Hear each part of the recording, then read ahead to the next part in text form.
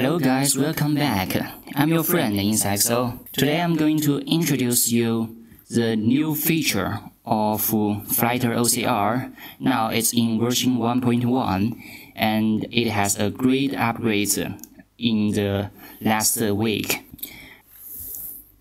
At the beginning, the first change on this software is that now it's, it has a transparent icon.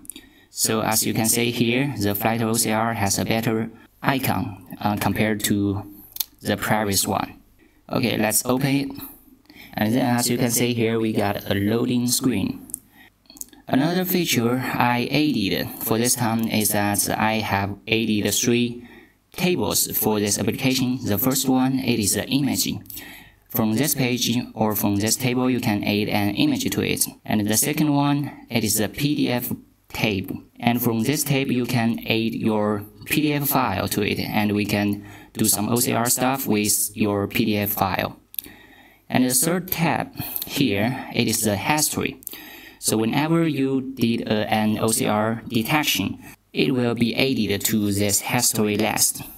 So this is what I have changed on the UI part. Then I also added some features and I think it's an important feature. For example, you, if you type the menu icon here, you'll see two options. The first one is choose OCR language, languages, and the second one it is about. Let's first look at the choose OCR languages. If you click it, you'll see a list of different languages. For example, you can choose the Chinese language or you can choose the English language, and it, it is default to have the English language included. And also you can choose French or Japanese or something else. Whatever you can choose, you can choose multiple of them and click the OK button. It will save that settings and the, in the next time when you do an OCR detection, it will recognize that language for you. And also here I just added an about option. If you click it, you would see some information about me. Alright, enough talking. Let's learn by doing. Here, for example, at the image page, if you click the A button, you can select an image. For example, I'll choose this one. Then it will start to do some OCR detection. It's, it's in process. After it is done, you see at the left side it's the original image, and on the right side it's your text that is available for you to copy. Then let's go to the next part, the PDF page. And from this page, you can also add a file. For example, here I just downloaded a PDF file from the internet.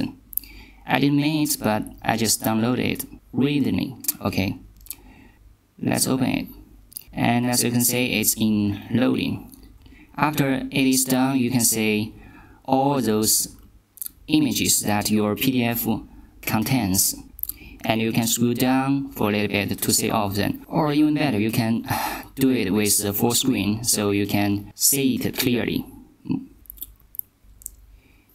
after you set up your mind about uh, which image to use to do the OCR detection. You can just uh, click it to get in the OCR process. When it's done, you can again see your image and text OCR results on your screen.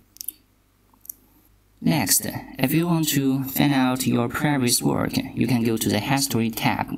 And in here, for example, if we want to give it a look at the scene.png file, we can just click that and we will see the result that we get. For example here, all those text has been copied to the clipboard. And if we want to delete some history in our list, we can click this icon. And uh, after that, it's gone. So this is the basic usage of the Flutter OCR version 1.1. I hope you enjoy this video and I'll see you in the next one. Bye.